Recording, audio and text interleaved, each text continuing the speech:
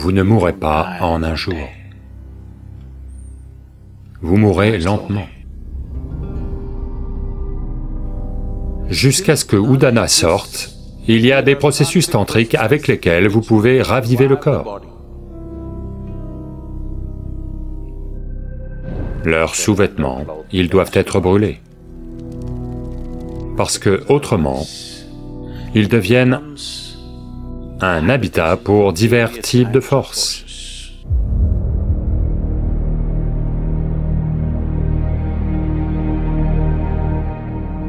Namaskaram Sadhguru, après la mort de mon père, j'ai gardé plusieurs de ses vêtements. Mais je sais que dans certaines traditions, on n'est pas censé garder les vêtements d'un mort. Comment cela doit-il être géré? Quand vous êtes né, quelle est votre date d'anniversaire, Jim? Le 1er août. C'est proche. Vous n'êtes pas né en un, bien que vous ayez une date de naissance fixe. Il vous a fallu neuf mois, neuf mois et demi pour naître, n'est-ce pas? De même, quand vous mourrez, vous ne mourrez pas en un jour. Vous mourrez lentement. Si quelqu'un est déclaré cliniquement mort, il n'est quand même pas complètement mort. Je crois que nous avons parlé de ça. Hmm? Les cinq pranas, ils commencent à se retirer lentement, étape par étape. L'énergie physique vitale, qu'on appelle généralement pran ou prana, a cinq manifestations de base. Il y en a dix, mais ça va compliquer. Il y a cinq manifestations de base. Celles-ci sont appelées samana, prana, Udana, Apana et Vyana. Disons que si un médecin observe et déclare à un moment donné que cette personne maintenant, elle est morte, dans les 21 à 24 minutes qui suivent, le samana va commencer à sortir. Parce que le samana est responsable du maintien de la température corporelle. La première chose qui se passe, c'est que le corps commence à refroidir. La façon traditionnelle de vérifier si quelqu'un est vivant ou mort, c'est de sentir son nez. Si le nez est devenu froid, il... C'est comme ça qu'ils en concluaient qu'il est mort. Ils ne vérifiaient pas les yeux ou autre, ils vérifiaient juste le nez. Si le nez est devenu froid, ça veut dire qu'il est mort.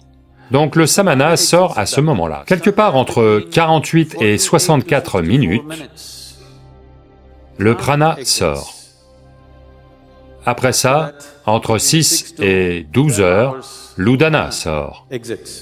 Jusqu'à ce que l'udana sorte, il y a des processus tantriques avec lesquels on peut faire revivre le corps. Mais une fois que l'udana est sorti, il y a une micro-micro-chance, mais c'est une chance minuscule. À part ça, il est impossible de faire revivre le corps une fois que l'udana est sorti.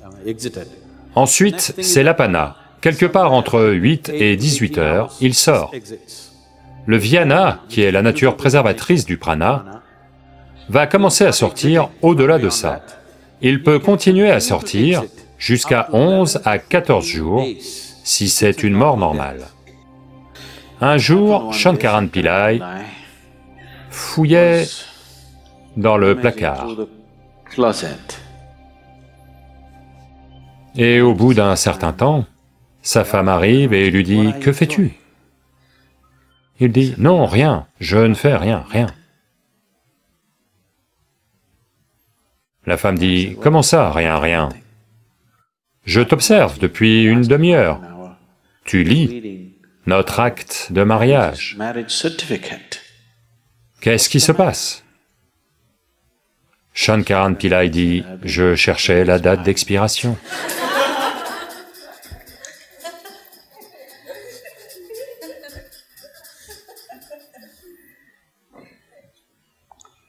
Donc, bien qu'il puisse y avoir une date d'expiration pour la mort de quelqu'un, on ne meurt pas en un jour.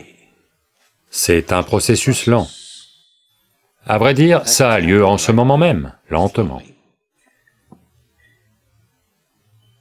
En faisant du yoga, vous mettez peut-être des obstacles sur le chemin de la mort, mais vous ne la stoppez pas. Oui Quotidiennement, vous faites du yoga, ça lui met des obstacles et la ralentit, mais ça ne la stoppe pas.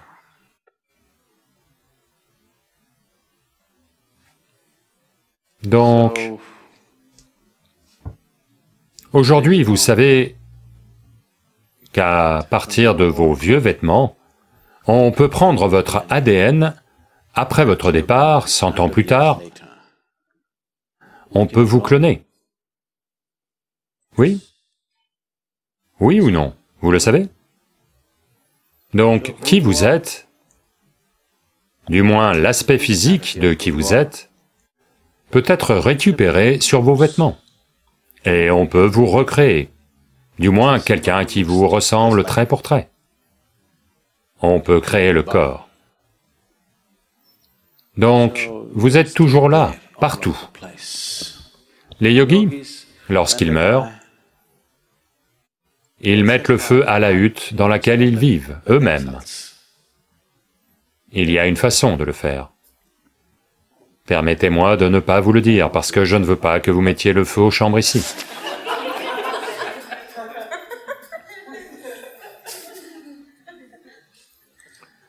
Donc, ils mettent toujours feu aux huttes dans lesquelles ils vivent, car ils ne veulent pas qu'une seule molécule d'ADN traîne et vive. Parce que, d'une certaine façon, votre corps physique continue à traîner. S'ils peuvent recréer votre corps à partir de ça, de toute évidence, il traîne encore, n'est-ce pas? Donc tout ce que j'ai touché, vous voulez le brûler. Tout doit être nettoyé.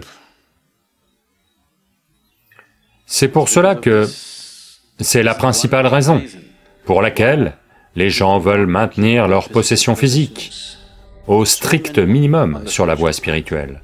Si vous entrez dans la pièce d'un sannyasi, vous verrez, il y aura trois paires de vêtements soigneusement pliés et rangés, juste euh, quelque chose pour boire de l'eau, une assiette pour manger, et juste un drap pour dormir. Et c'est tout. Aucun surplus, parce qu'il ne veut pas toucher à trop de choses dans le monde. Il veut s'en tenir au strict minimum. Parce que il sait que s'il répand son corps partout, le rassembler pour partir sera très difficile. C'est pour ça qu'il ne forme aucune relation physique d'aucune sorte, parce qu'il comprend que s'il laisse son corps partout, au moment de le rassembler, ce sera extrêmement difficile. Les personnes qui font partie de votre corps ne veulent pas vous accompagner quand vous voulez partir. Ils ne viendront pas. Ils vont tous dire « je t'aime », mais ils ne viendront pas.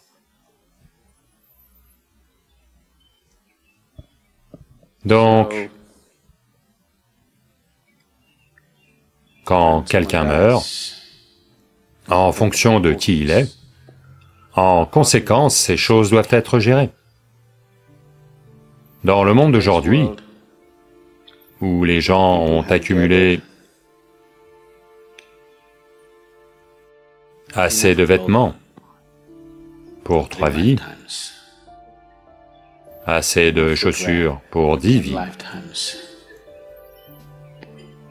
brûler tout ça serait du pur gaspillage. Et de toute façon, leur manière d'exister et la manière dont ils partent sont telles qu'inévitablement, ils doivent à nouveau reprendre racine sur cette terre. Pas la peine de brûler tout ça. Au moins, les choses qui sont très étroitement, intimement liées au corps, comme leurs sous-vêtements et d'autres choses, doivent être brûlées. Elles doivent être brûlées. Parce qu'autrement, cet être ne partira pas facilement. Il ne saura pas, il n'a pas le discernement pour comprendre s'il doit être ici ou ailleurs. Il ne peut prendre aucune décision. Il n'y a pas de capacité à prendre des décisions parce qu'il n'y a pas de discernement. Une fois que le corps est parti, le mental discrétionnaire est parti. Donc, il n'y a pas de décision, que des tendances.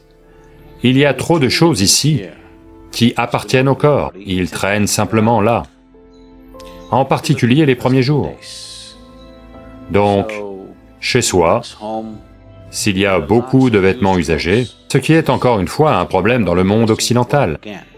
À cause du type de vêtements et de la structure de la société, les choses sont telles que vous pouvez porter une veste pendant six mois et elle n'est peut-être pas lavée.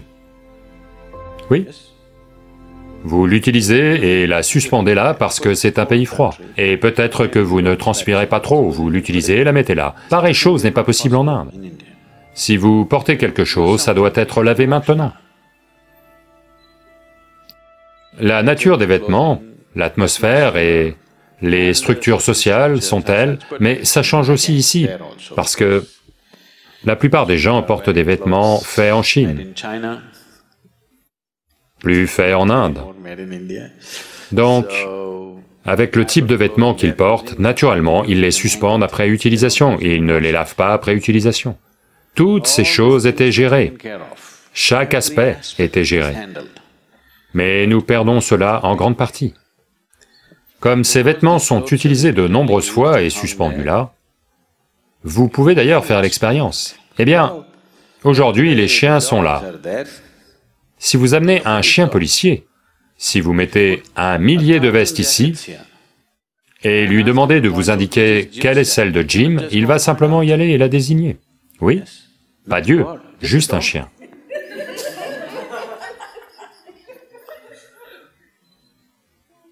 Donc, de toute évidence, qui vous êtes traîne là dans la veste de bien des façons, n'est-ce pas? Ce qui fait que même un chien peut le voir. Donc, une fois que c'est comme ça, quand une personne n'est plus, et que son corps continue à traîner sous de nombreuses formes, ça devient un habitat pour divers types de forces.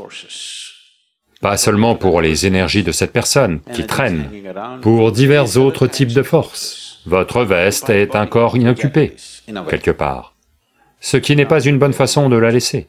Donc, soit ils les lavent immédiatement, en Inde, si ce sont des vêtements coûteux, ils vont laver tous les vêtements. Dans les 10 ou 11 premiers jours, ils vont laver tous les vêtements et les distribuer dans beaucoup d'endroits, jamais dans un seul. Vous n'allez pas prendre tous vos vêtements et les donner à une seule famille. Vous vous assurez que la veste va ici, le pantalon va là, ceci va là, cela va là, pour que ça devienne trop dispersé pour avoir une quelconque importance. Il n'y a pas de présence significative. Autrement, toutes les choses intimement liées au corps, brûlez-les, simplement.